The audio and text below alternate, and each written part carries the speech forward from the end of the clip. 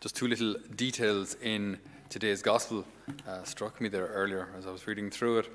Uh, firstly, the gospel begins and ends with uh, more or less the same expression to look hard at someone. So John looks hard at Jesus, and then a little later on, uh, Jesus looks hard at, at Peter.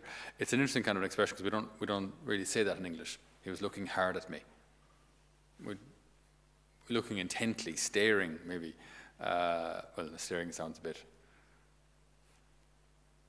negative connotation, definitely a negative connotation there. But he, he was, so he looks, he looks deep. He looks into kind of the depths of you. You know, it's not just a kind of a, it's not a kind of a checking you out kind of a look. It's not a, uh, an, an, intimidating kind of a, a stare. But it's, it's, I would imagine, when, see, when the Lord sees us, what does he see? He sees so much more than just the exterior. So when he looks at you, he's able to see through the mess and the masks and the fears and, and everything. And he can just see you, the real you, just as you are. So when the Lord stares or when the Lord looks, when the Lord looks hard at you, he cuts right to the, the core of who you are. And that's a, a, an interesting and somewhat maybe, maybe kind of intimidating reality. That maybe we don't want to be seen that way. Maybe we want, we want to be seen the way that we present ourselves, the way that, that, that uh, with, with, the masks that we're used to, to wearing and to presenting. And then this kind of reality can be a bit messy. Uh, it's maybe not what we, what we want the Lord to see. But the Lord sees the truth. After the Lord responds to those two disciples of John, uh, what do you want? They say, Where do you live? He says, Come and see. Uh, there's an interesting little detail here. So they went and they saw where he lived and stayed with him the rest of the day. It was about the tenth hour. Why is St. John telling us what time it was? And an apparently kind of insignificant detail. It was the tenth hour. So what? By the way, um, uh, a Jewish day begins and ends with the sunrise. So, so the, the, the day begins with sunrise, so we'd say 6 a.m. more or less. and The day will end then at about 6 p.m. Well, the, the, night the night begins at 6 p.m. until the following morning. So it's uh, day and night, like for us, is broken into two 12-hour periods. Just they start. They don't start at midnight and midday. They start at sun up and sundown. So the 10th hour then is about 4 o'clock in the afternoon. 4 o'clock in the afternoon. So why, why is that important? Uh, I think if you look at the context here, where do you live? Come and see. So they stayed with him the rest of the day. It was about four o'clock in the afternoon. I think for me that that detail it kind of points out how it may be a little late in the day when we discover the Lord. It may be a little late in the day when we discover how to pray maybe a little late in the day when we discover that our relationship with the Lord wasn't actually a relationship so much as a, an external observance of, of, of, rules.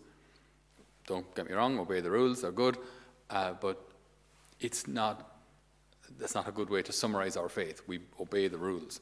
No, it should be a, a relationship. And it may be very late in the day when we discover this. But then what, what, what do the disciples do? They stay with him. So it's late in the day, but they stay with him. Uh, when I worked in a parish which shall remain nameless, uh, I would have re recognized that uh, my preaching style wasn't actually that popular because I think I would talk about things like you know, deepening our prayer life and deepening our, our love of the Eucharist and, and deepening our relationship with the Lord.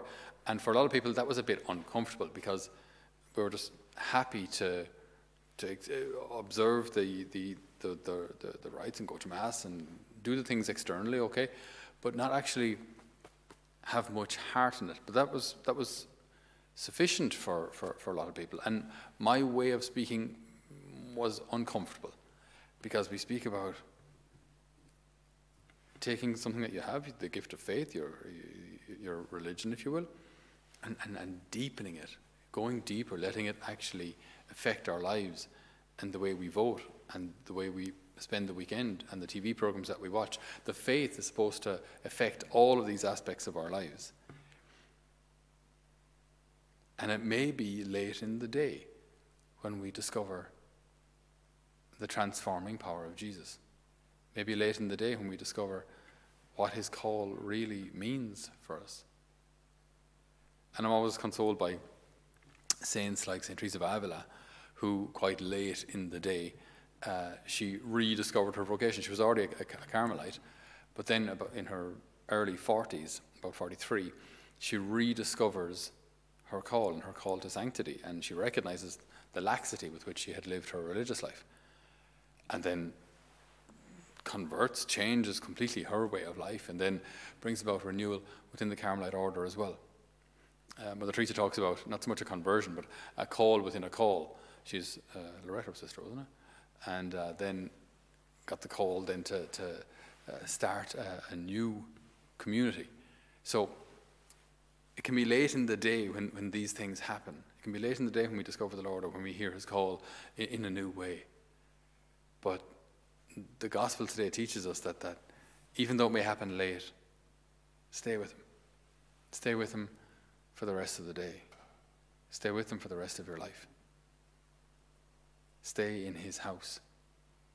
Stay with the Lord who calls you. Stay with the Lord who stares at you, looks at you, desires you, knows your heart. Stay with him.